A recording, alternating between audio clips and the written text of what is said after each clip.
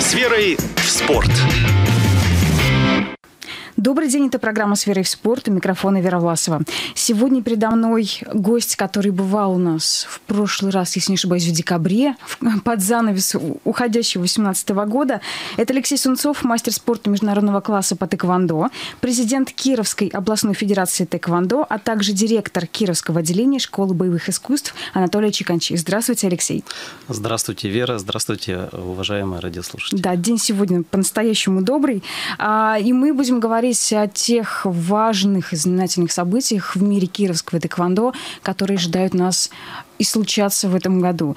Итак, проанонсируем, во-первых, что два важ... две важных даты в этом году в Кировском тэквондо. Это, во-первых, 20-летие а, Федерации тэквондо в Кировской области, правильно говорю? Да, Кировская областной федерации тэквондо, как раз угу. руководителем которой я являюсь. Угу. И... Да, и сразу же озвучим вторую дату. Это десятилетие, ни много ни мало 10 лет существует школа тэквондо, школа боевых искусств Анатолия Чиканчи в Кирове. Совершенно верно. Угу. Давайте об этих датах более подробно проговорим. В прошлой программе мы уже э, краткий экскурс, экскурс в историю тэквондо в России, в Кирове говорили, э, делали вводную такую фразу. Повторим, с чего все начиналось и на какой стадии развития тэквондо в Кирове сейчас?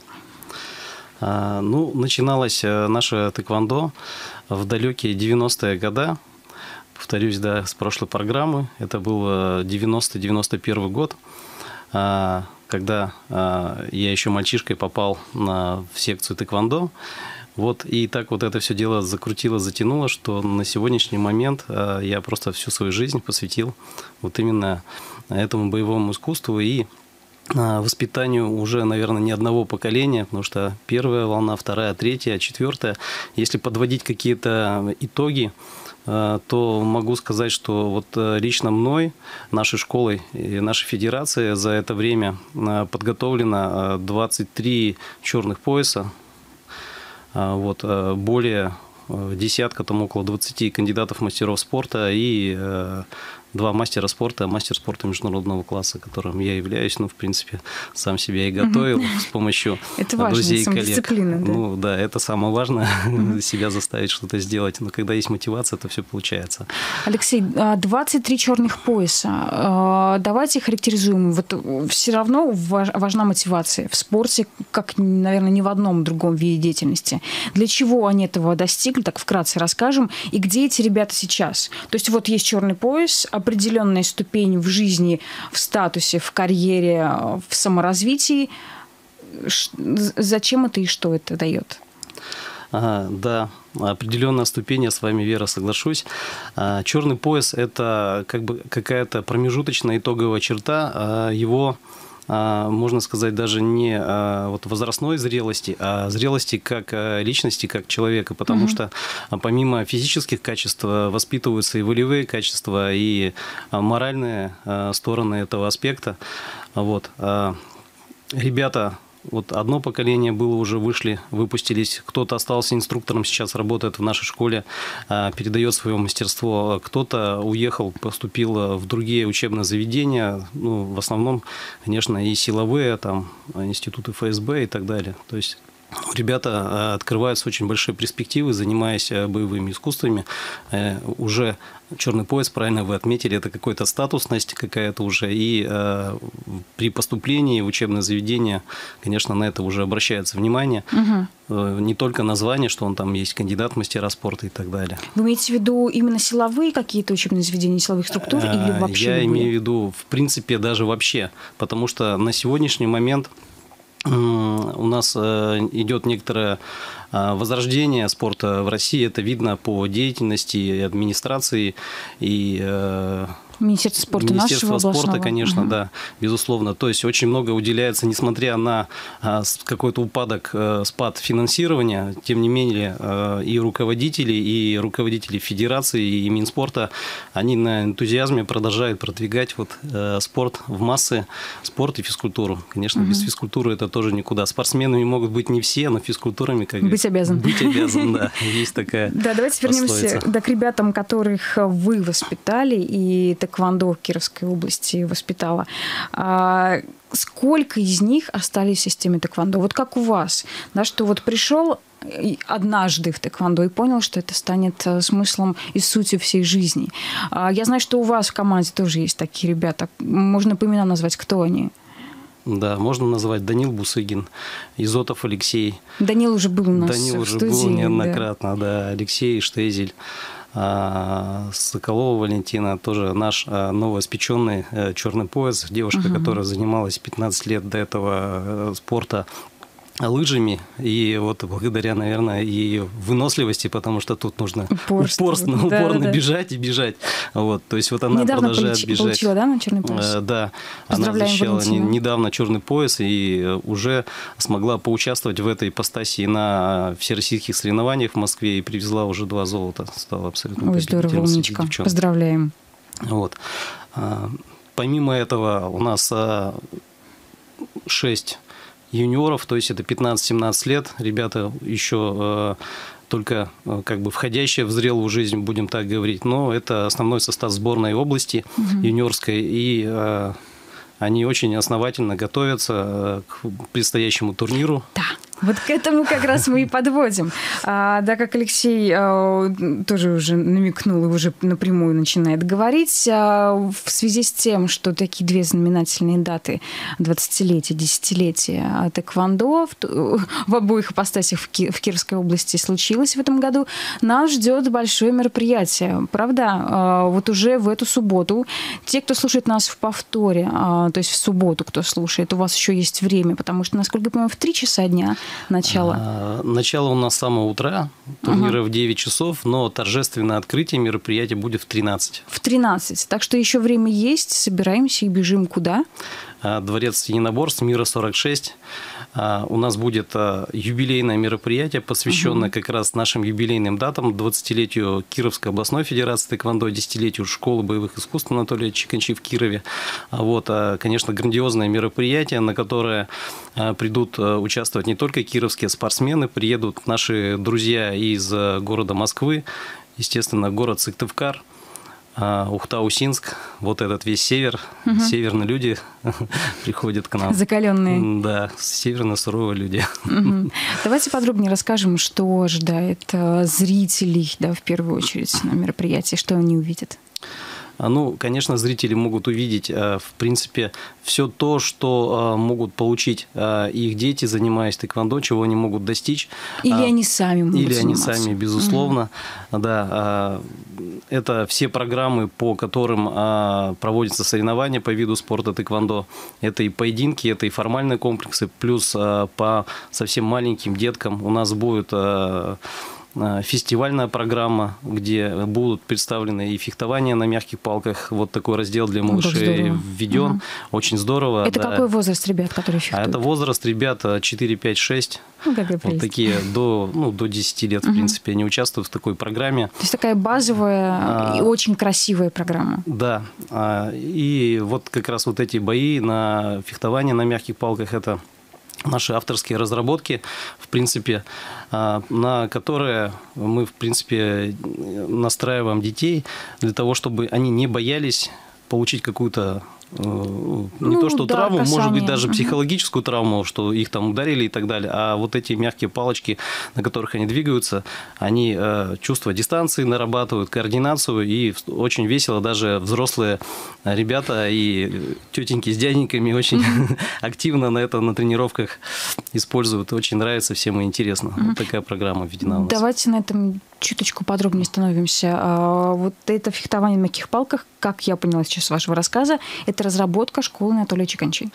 А, это а, разработка наших коллег а с, с другой стороны, угу. не будем говорить какой, потому что боюсь ошибиться, но а, вот эта штука, она была привезена Анатолием Васильевичем Чиканчи как раз, а, как и э, другие фестивальные программы а, с международных соревнований, и была активно внедрена, и сейчас эти а, поединки, они используются не только в нашей школе, они используются и в других федерациях, угу. а, в том числе и не аккредитованных, но всероссийских соревнованиях. Угу. То есть это та самая, то самое начало, да, вводные, да. скажем так, курс азы. молодого бойца, азы, да. да, азы молодого бойца тэквондо, а, чтобы, как вы сказали, предотвратить как появление каких-то психологических травм, да, при ведении да, боя. для того, чтобы это было, наоборот, задорно и весело, и все наши тренировки для малышей мы именно в той форме и проводим, чтобы а, ребенок себя чувствовал очень комфортно на тренировках, чтобы ему нравилось туда ходить, чтобы у него не было перегорания, отторжения от спорта, что его только заставляют там отжиматься, приседать mm-hmm. или еще что-то. То есть развитие физических качеств и плюс, конечно, вот этот задор, а, веселье, где можно получить заряд положительных эмоций и с радостью ждать следующего занятия. Mm-hmm. Причем с пользой для здоровья. Конечно. Mm-hmm. Да. А, идем дальше. То есть вот э, это то, что первое самое это могут самое увидеть первое. Э, зрители. Во сколько это? Начало соревнований у нас начнется в 9, угу. в 9 часов. А ребята по возрастам будут распределены по определенному времени в зависимости. То есть у нас программа идет таким образом, что мы не ждем окончания соревнований, всех награждаем. То есть категория возрастная выступила, наградили, мы их отпустили. Тоже э, очень благоприятный момент для родителей, в том числе, которые хотят планировать свои выходные, угу, чтобы целый день не находиться в зале. Все выступили свободно. Да. Вот. И, конечно же, э, на этом мероприятии 13 числа, 13 часов, это торжественное открытие, вот угу. такая интересная дата, но мы ее не боимся, угу. знаем, что у нас все хорошо, да, все хорошо пройдет. Вот, а торжественное открытие с показательными выступлениями, показательные выступления будут как и спортсменов нашей школы, так и э, официально сборной Кировской области и инструкторского состава, и сам планирую принять участие в этих показательных выступлениях. Угу, угу. Вот, мы ждем э, к нам в гости и руководство области, и э, города Кирова а, в области спортивной, то есть министр спорта придет. И, Александра Арминова, да, надеемся. К сожалению, нет. Замминистра придет, угу. Алексеев. А, и а, ждем Анисиму Надежду Юрьевну, ну и других наших друзей, которые с нами работают, нам помогают продвигать наше доброе дело. Угу. Вот. Должна отметить, что видела не единожды показательные выступления э, тэквондо, да вот именно ребята из школы э, Анатолия Чеканчи. Это очень красиво, прекрасные костюмы. Да, давайте еще вот на экипировке более подробно остановимся. Мы затрагивали так вскользь эту тему на прошлой программе. А, откуда берутся костюмы? Да почему они именно такие? Да, и, и ведь они очень э, соответствуют движениям спортсменов, да, бойцов? Ну, наверное, немножко проведу разделение а, спортсменов, в которых э, костюмы, в которых спортсмены участвуют, выступают uh-huh. на соревнованиях, uh-huh. а называются дабок. Это, в принципе, обыкновенные белые костюмы, не uh-huh. то, что, может быть, что э, вы говорили. Да, это официальное соревнование, официальные старты. Определенная форма, утвержденная международно, они должны быть. То есть здесь спортивное направление. Спортивное направление, И, соответственно, да. спортивным каким-то нормативам. А, uh-huh. Показательное выступление, как правильно вы отметили, мы, конечно, всегда а, делаем с размахом. А, в зависимости от наших целей мы, если показываем а, технику конкретно школы и что такое тэквондо рассказываем, это традиционные костюмы, чтобы было все понятно. Но нам очень нравится делать театрализованные показательные да. выступления. Да. Вот, очень много наших выступлений, хотя и в любительской э, видеосъемке, они есть в нашей группе ВКонтакте, угу. можно посмотреть, да. Ну, там просто шедевры, и народ хлопает стоя. Да, получить удовольствие, на самом деле, визуальное невероятное. Да. А как делают это костюмы? То есть сами ребята их заказывают себе, либо школа как-то содействует? А, ну, тут энтузиазм родителей. Нужно отметить на то, что родители очень а, хорошо отзываются, а, откликаются на наши просьбы. И э, находятся люди, которые могут помочь шить, могут э, что-то сделать, изготовить, какие-то реквизиты. Где-то мы, конечно, можем найти и взять в аренду. То есть э, есть друзья, которые занимаются анимациями и так далее. Вот.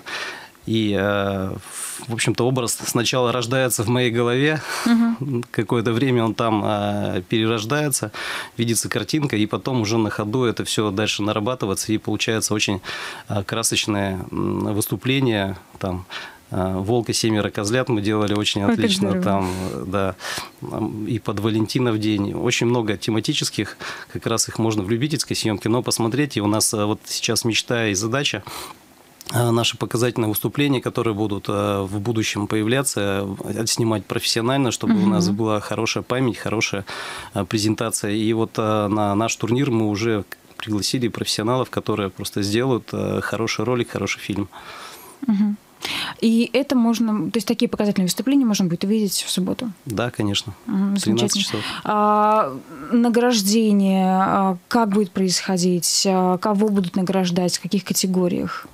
То есть возрастные мы уже сказали. Да, еще раз, как они делятся? А, возрастные категории, ну, по малышам это фестивальчики, они там по годам делятся, а более старшие ребята, они уже там 10, 11, 12, 14, 15, 17, 18 плюс, стандартно по правилам соревнований. А, ребята награждаются у нас а, в дисциплинах как формальные комплексы, то есть это определенная последовательность а, движений, блоков, ударов, стоек, соответствующая его уровню пояса, то есть качество и сложность этого комплекса зависит от э, пояса. Вот. Это одна из самых э, серьезных дисциплин, э, потому что не у всех может получиться это сделать классно и круто. И хочу похвастаться, что наши ребята на российском уровне очень неплохо выглядят. Угу. Вот. Поэтому мы на правильном пути в этом направлении. Вот. Конечно же, поединки. Поединки у нас будут и безостановочные, то есть это когда судьи оценивают, э, сидя на стуле, каждое попадание и потом подводится итог. Это безостановочный поединок называется. И есть поединок стоп-балл. Это для более младших ребят, но и старшие ребята очень с удовольствием в этом процессе, в этих поединках участвуют. Это после каждого попадания рефери останавливает, присуждает балл, кто первый попал. Тут угу. могут попасть оба, но кто-то на долю секунд быстрее. То есть вот тут как бы немножко другая скоростная характеристика оценивается и ловкость, умение угу. техники. Это оценивают судьи, то есть без видео, фотофиксации? А, без видео, фотофиксации, да. Угу. А сколько судей участвует в процессе? А, при э, безостановочном поединке это 5 судей, 4 э, боковых, которые оценивают баллы, и рефери, естественно, на площадке, которая следит за соблюдением правил соревнований, чтобы было не, не было нарушений. Угу. Вот. А при стоп-балл, а, вот, который вас в момент заинтересовал, угу, про видеофиксацию, там три человека, они а, оценивают это, показывают а, определенный балл, кто первый попал в того сторону. А, одновременно, если мнение двух судей сходится, то так. тогда балл присуждается. Если все показали разные результаты, хоть и было попадание, но баллов не будет. Есть оценка разная. Довольно объективно получается тогда. Да, со всех сторон три человека движутся постоянно практически по площадке Контроль вместе. со всех сторон. Да. Так что удар не пройдет незамеченным. Еще раз, программа а, всего мероприятия будет где?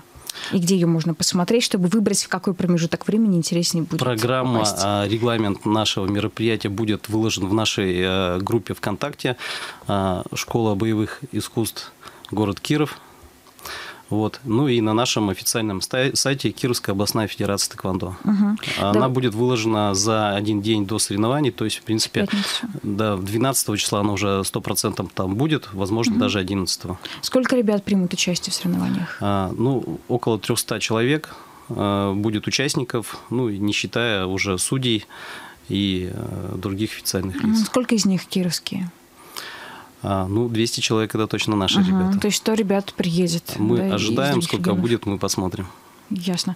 А, и возрастное ограничение давайте еще проговорим по мероприятию. Какое вы ставите? А, возрастного ограничения для посещения нашего мероприятия 0+. 0 плюс. Угу. То есть родителями берем родителей да, в охапку? берем родителей, берем дети берут родителей, родители берут, берут детей. детей. Да, вход свободный, а, без каких-то либо билетов. Мы всех приглашаем на наше мероприятие, будем всех рады видеть. Угу.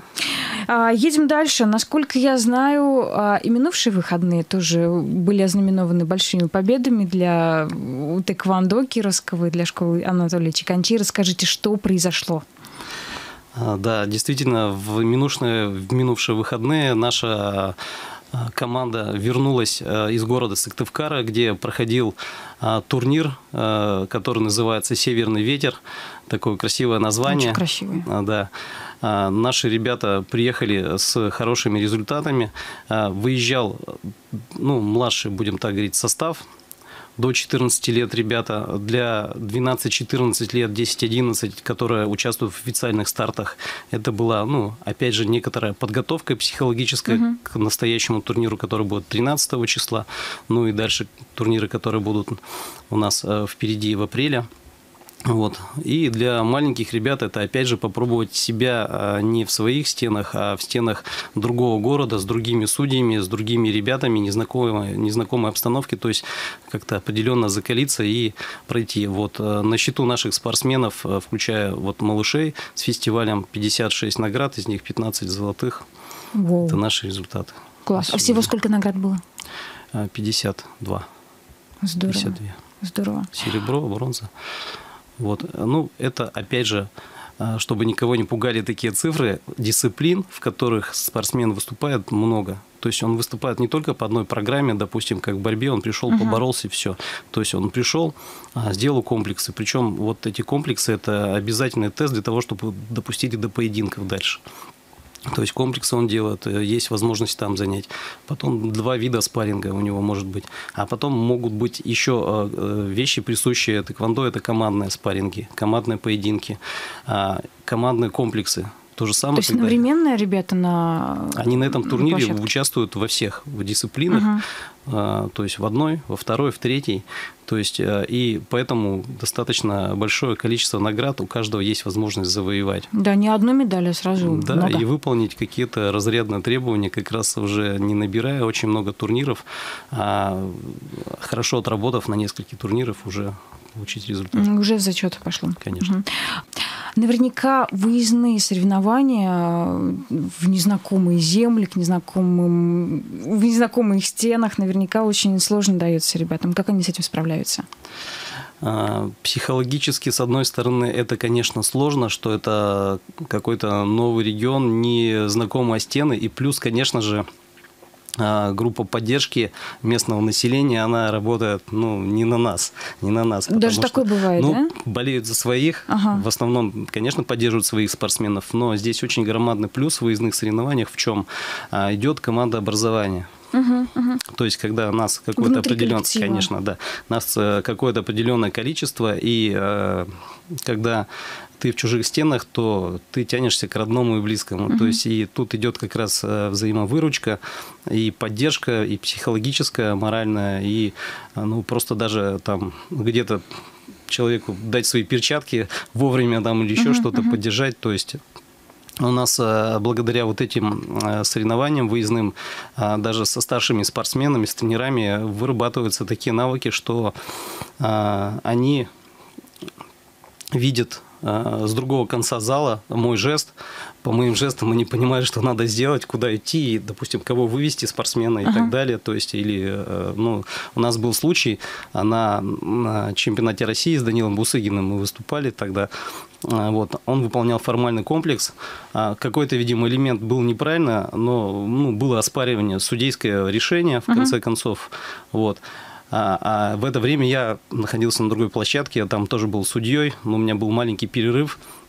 И у него получилось так, что а, вместо его соперника одного вышел другой. В, этом, в этой схватке Данил проиграл, так. ну, ошибся. Ошибся, ошибки бывают угу. у всех. А вышел другой, ну, с такой же фамилией. Вот. И пришлось этот поединок переигрывать. Это как раз был финал чемпионата России. Вот. И Просто он увидел это. Я поднял руку, показал не так, а так. Вот жесты. Это было метров 50, там 60 друг от друга. Он кивнул головой, сделал и выиграл. Угу. Ну, такая штука у нас была. Да, то есть еще раз поясним, а, что произошло, что вместо Данила вышел другой спортсмен, или вместо Нет, его соперника? Вместо вышел? его соперника угу. вышел однофамилец, а в итоге схватку пришлось переиграть. А, и это дало шанс не Данилу... засчитали да, схватку? Данилу дал шанс еще выиграть, еще раз выступить. О, и, да, но вот само... оно проведение, да? Да, но вопрос, наверное, не в этом, еще больше то есть, э, в том, что ребята, а, вот, участвуя уже. на расстоянии в других городах, они просто уже, да, начинают читать жесты. Уже телепатически, наверное, все уже понимают. Ну, может быть, не телепатически, но ну, жесты они как бы, да. Да, молодцы. Понимают. В общем, умение быстро сориентироваться в сложной кризисной да, ситуации, да. это присуще как Ответственность раз Ответственность старших за младших то же самое. То есть вот это как бы а, а, Это все воспитывается, да, перевивается как раз на выезде. Да, как раз вот эта ответственность за малышей. То есть э, тут не нужен прям тренер рядом, когда старший спортсмен видит, видит, что младший уже готовится, выступает, или ему куда-то нужно идти, или просто ему хочет там выйти в туалет, или покушать uh-huh, uh-huh. и так далее. Ну, то есть вот это контроль, а, наставничество, оно очень хорошо развивается. Но это одна, вот как раз ответственность, а, это одна из черт, которые прививает тэквондо сам, само по себе, да, тем более в соревнованиях таких сложных и да, ответственных. Угу. А, такой еще вопрос. Как а, вы выбираете ребят, кто поедет на соревнования? Ведь наверняка учеников много, все хотят себя проявить. Как заслужить это право? А, есть турниры, э, которые, ну, неправильно сказать, открыты, они доступны. То есть мы в гости к соседям можем приехать. А, тогда, в принципе, выезжают все. Угу. Если это не отборочное соревнование, если отборочное соревнование, там, первенство, чемпионат региона, конечно, мы туда не едем, мы проводим свои первенство, чемпионат отборочное мы проводим свои. А на основании этого ребята выбираются и э, попадают в сборную области, и уже официально сборная области, и она командируется Министерством спорта на другие всероссийские соревнования. Таким угу, образом. Угу. И, и так дальше, и дальше. Да, для того, чтобы попасть на международное соревнование, нам необходимо провести, э, пройти отбор на России. Угу. То, что в частности делал Данил Бусыгин, на который мы сегодня уже не единожды вспоминали. Да, да, кстати говоря, после этих соревнований он а, попал на чемпион, на кубок, на кубок Европы, а, где стал абсолютным победителем угу, этого угу. турнира. То есть абсолютный победитель, что означает, то есть он и в спарринге первый, и в комплексах первый. И в третьем виде спарринга он тоже был первым. Здорово. Насколько я помню, как раз возвращаясь к теме Данила, а, у него вот-вот должен случиться переход э, в новую возрастную категорию. У него случился переход так, в новую возрастную категорию. А, уже а, год назад это случилось. На Уфе, Уфа, у нас был Кубок России, вот э, в октябре месяце мы выезжали, и в новой ипостаси он а, стал первым в поединках и стал первым а, в спецтехнике. Это еще один из разделов. Специальная угу. техника – это разбивание доски а, в прыжке, то есть на высоту, либо на другое расстояние. О, вот он эффектно. прыгал на, на расстояние удар юбчаги, это удар ногой в сторону мне уже так корейскую терминологию. Uh-huh. Вот, его дистанция была, то есть э, стоит планочка, на высоте натянута ленточка 60 сантиметров с одного края и 60 сантиметров с другого угу. края. А между ленточками расстояние 3,10, 3 метра 10 сантиметров. Так. Вот э, с разбега в прыжке он должен перелететь вот это расстояние, не задев ленточки и сломать в конце доску. Класс. Вот. Э, Данил стал э, первым в этом э, виде программы. И тем самым Данил просто на Кубке России выполнил норматив мастера спорта два раза и в поединках, и вот в спецтехнике. Класс. Сейчас ждем присвоения документа, отправлены в Москву на присвоение мастера спорта. Угу. Ну, после этого мы еще Данила обязательно пригласим, чтобы он рассказал о своих подвигах. Но это же на самом деле какой-то трюк из разряда нереального. Ну, э, на этих соревнованиях спортсмены отселись на дистанции 2,90 угу. все, кто еще с ним оставался прыгать. Причем а, он соревновался со спортсменом. Это тоже мой воспитанник Дмитрий Носков. Сейчас он а, старший тренер сборной Татарстана. Класс. А, такие трюки, такие прыжки мы сможем увидеть в Да, они будут спецтехника, вот. она, конечно, в этой программе существует 13 Класс. апреля. Да, вот, вот на это особенно нужно посмотреть. А, и давайте проанонсируем еще одно важное событие уже в, в жизни школы Тэквондо. А, после 13 апреля я знаю, что важный очень турнир состоится. А, после 13 апреля, буквально через пару дней, наша сборная области отправится на российские соревнования. Это чемпионат первенства России по тэквондо, где нас ждут конечно, сильнейшие, сильнейшие противники, э, соперники со всей России. И э, еще это будет очень серьезный отбор для э, попадания в сборную России официальную для участия на первенстве чемпионате Европы, которое состоятся тоже а, в Казани. Нам повезло, что тут рядом, прямо uh-huh, рядом, uh-huh. ехать никуда не надо. А, вот, в июне месяце, в конце июня, с 20... Уже скоро. Да, с 23 по 30 число июня в городе Казань тоже всех желающих мы приглашаем поехать в Казань, отдохнуть в аквапарке и поболеть ребят, за да. наших ребят. А, а, уже известно, кто из наших э, ребят поедет, или это покажут как раз соревнования в эти выходные? На сегодняшний момент, э, кто поедет на первенство чемпионат э, России, конечно, известно, списки mm-hmm. уже заявки отправлены. То есть ребята это те, которые отобрались на ПФО, которое было недавно в Самаре, и на чемпионате первенства области. То есть это уже официальные, а, будем так говорить, матерые спортсмены, угу, которые угу. уже заряжены просто на победу. Угу. То есть они уже настроены, и все, они едут да, уже за победой. Да. А будем... сколько их и какой возраст? А, их а, у нас 16 человек. 16 человек выезжают на официальные старты. Из них трое – это взрослые ребята, 18+, выезжают Данил Бусыгин, э, Савельев Иван, э, Соколова Валентина. Это по взрослым выступает. Плюс 6 человек это будет юниорская сборная, это 15-17 лет. Ребята будут выступать по всем видам, в том числе и командным. Э, три вида командных спаррингов, ну, два вида спаррингов и комплекс. На комплекс они особенно готовятся. Вот. Ну, и личные соревнований. И плюс э, еще с ну, юношеская сборная, это 12-14 лет, угу. которые ребята также будут выступать во всех видах программы. Угу.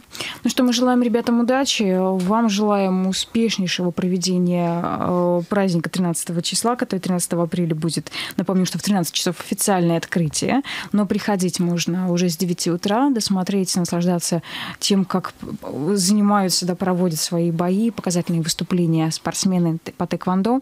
А на этом сфера спорт на сегодня заканчивается. В гостях у меня сегодня был Алексей Сунцов, мастер спорта международного класса по тэквондо. Президент Кировской областной федерации тэквондо и директор Кировской школы боевых искусств Анатолий Чеканчи. Алексей, спасибо большое. Еще раз вам побед а, и вам, и вашим ученикам. Спасибо большое. Всего доброго. До свидания. Удачи. С верой в спорт.